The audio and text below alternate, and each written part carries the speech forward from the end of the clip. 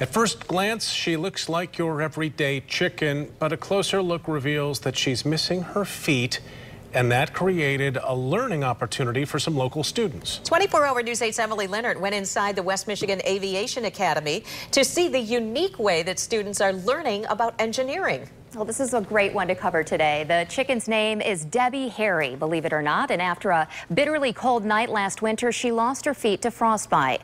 Debbie survived the ordeal and provided a project for one class they'll never forget.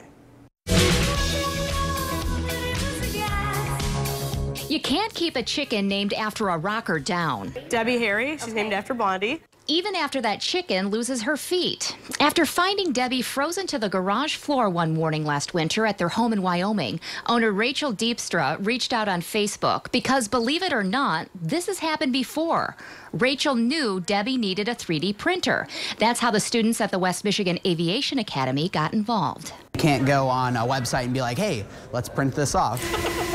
some of that type of stuff that you originally think of as like a school project or like an easy A, you can't do that. James Brockman and his classmates started with the basics. We went in and we took a couple preliminary measurements with uh, calipers, and then we were like, we're going to 3D print it with the stuff that we have in our school. There's a wall of 3D printers at the school. What we do is we design 3D models on SolidWorks, or uh, most of the school uses software called Onshape.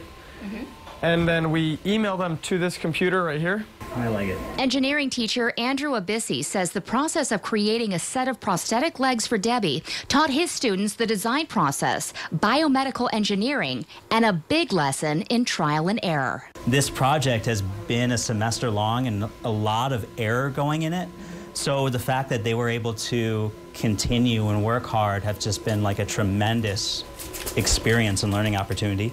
The students started big, really big, and then they moved on to a sled-like design before developing these feet. The current design is one of about 30 they tried, and so far, it's working the best for Debbie. I think we'll use them mostly for winter when it's cold and um, to help her roost at night. So she, they like to be up off the ground at night. Improvements in the design continue, but in the meantime, don't worry about Debbie. 3D printer feet or not, Debbie can still cross the road or wherever else she wants to go. Really, she runs around the yard just like this. Yeah. like, yeah. no problem. She can full out sprint.